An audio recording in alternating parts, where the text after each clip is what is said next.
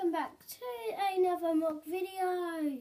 Today in this video I'm just going to be doing my MOC video of a big huge space and it's not just this, it's also over there a little bit. So let's get into this little bit first. Um, got Kanan and Zeb from Star Wars Rebels. Then we got a sock sweeper.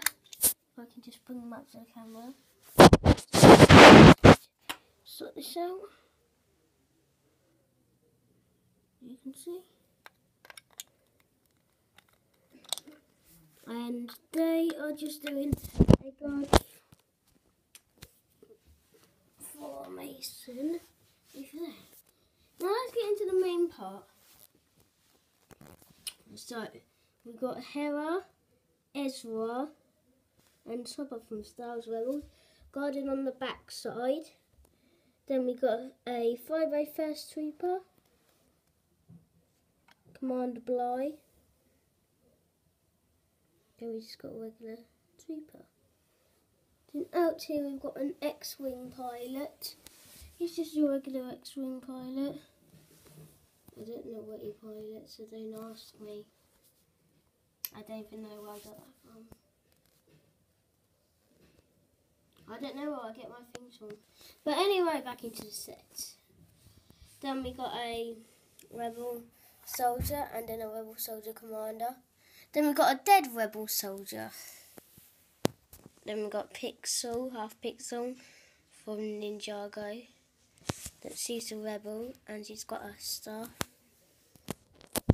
Now um, we got this communication tree. Then behind that we got a super battle droid, the first order commander. Then we got this turret gun. And it has a control panel on the back. Then we have Count Dooku, super battle droid, first order trooper, AT-AT pilot.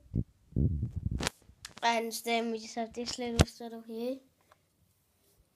And just if you are watching this video, you will love this. Lego Harry Potter the It. So just if you're watching, if you want it, you're not having it.